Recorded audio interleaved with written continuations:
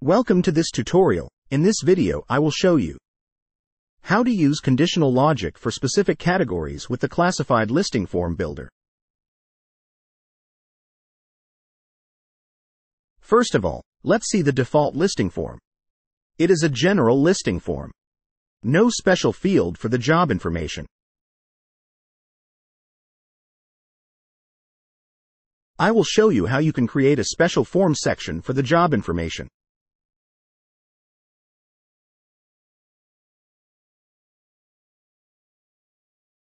Let's create a job information section with the name of job info. Now drag and drop the required field elements for the job info. You can easily add the label name and placeholder name.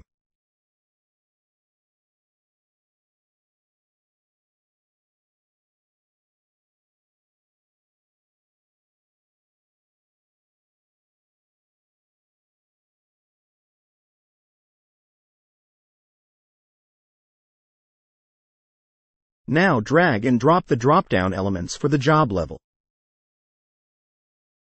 Give the label name and placeholder name if want. And, give the job level option to choose for the users.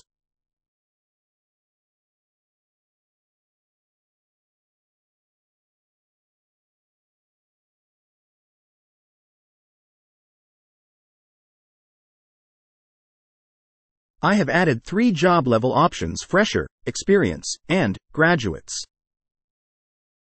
Now save form.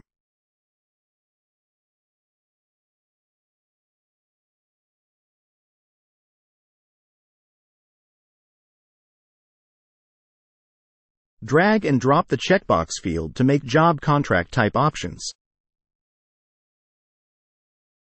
Add the contract type as the label name. Add the job contract type options to choose for the user.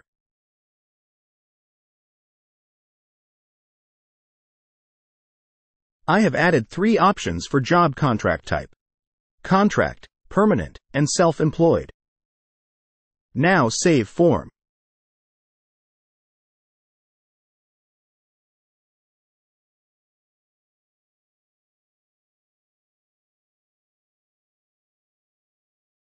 Let's add file upload elements in the job info section.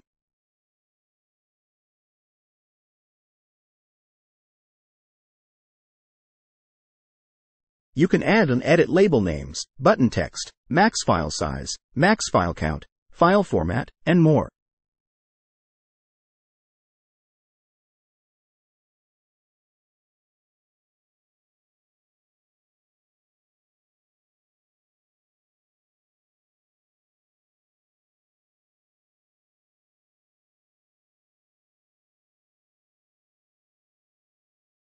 Now save form.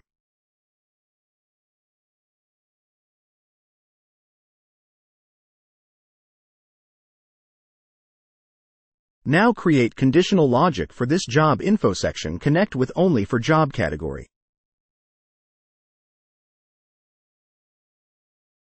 First, select category.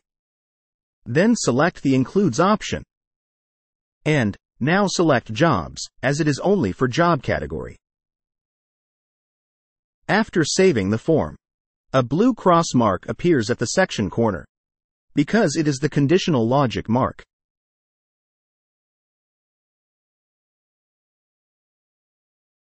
Now let's see. Is the job info section appear after selecting the job category or not?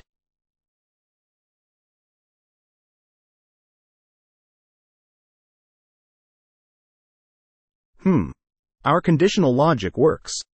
The job info section appears after selecting the job category.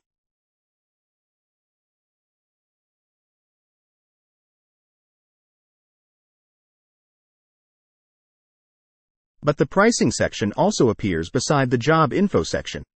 However, the pricing section is not required for the job category. Now let's make another conditional logic to remove the pricing section for the job category. Now select the category. This time select the Not Include option. Select the job category, as we don't want to include this section for the job category. A blue cross mark also appears for this section also because of conditional logic. Let check from the front end, select job category to see pricing option. Hmm. Job info section appear and pricing option disappears. As we created conditional logic to remove pricing option from job category.